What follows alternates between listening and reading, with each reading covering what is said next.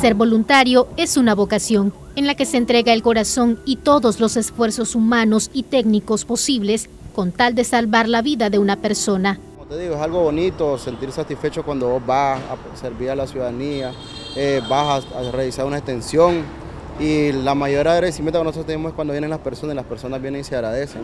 Han venido a en estos casos a varios eh, familiares de varias personas en accidentes que hemos atendido y ellos los agradecen eh, la atención que le brindamos a las personas. Igual cuando vamos a incendios, varias personas de negocios se sienten agradecidas al momento que nosotros pues eh, logramos evitar que pase el mayor daño posible. ¿Qué significa el voluntariado para nuestra organización? Significa, es sinónimo de ayuda, es sinónimo de esperanza, es sinónimo de asistencia y eso es lo que hemos hecho a lo largo de estos 86 años. Estamos muy orgullosos de los voluntarios, de las voluntarias, porque eso nos permite continuar trabajando y sobre todo eh, sin esperar nada a cambio, que es un principio que nos mueve, que es el principio de humanidad también.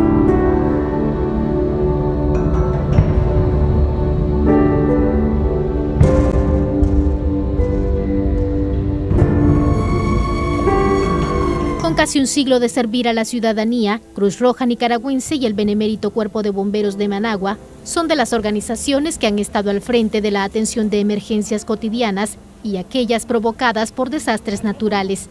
Para estos voluntarios, salvar una vida es lo primordial. Un accidente que tuvimos hace años ahí en el sector de, la pista suburbana, ahí fue una rastra que se estaba combustionando de combustible y lamentablemente cuando llegamos al camión se le fue los frenos y ahí tuvimos pues sentí bastante miedo porque estaba iniciando eh, la profesión de bombero y eh, el choque que tuvimos fue bastante un poco delicado, entonces eso fue lo que la mayor, la, mayor preocupación que tuve esa vez. Pues, Hemos visto situaciones, pues también incendios que, eh, de grandes magnitudes que hemos arriesgado nuestras vidas. Uno de ellos se puede decir el incendio que tuvimos en el 2008, el incendio del Oriental, que ahí pasamos varios días trabajando y fue un incendio bastante grande. pues.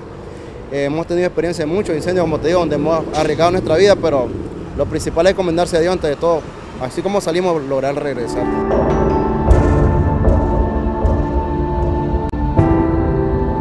Leonardo Robelo lleva 15 años de su vida sirviendo como voluntario en Cruz Roja. Actualmente dirige el programa de socorristas y entre sus miles de anécdotas en el ejercicio de su trabajo, recuerda el rescate de varias familias en el barrio 18 de Mayo, que quedaron soterradas por el colapso de un muro perimetral. Y ahí todo el equipo que trabajamos logramos rescatar con vida a dos niñas bajo los escombros.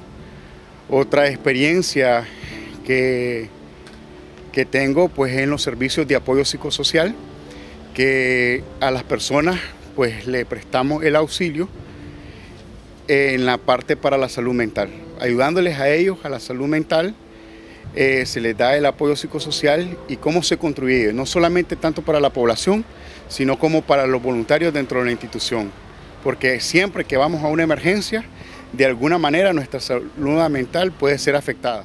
Pero de salvar vidas, también muchos de estos voluntarios han pasado a ser víctimas, como lo ocurrido el 4 de octubre del 2010 cuando cuatro miembros de Cruz Roja y una periodista murieron al ser arrastrados por las corrientes del río Tecolostotembuaco, gajes del oficio que con mucho dolor han tenido que asumir por amor a su vocación.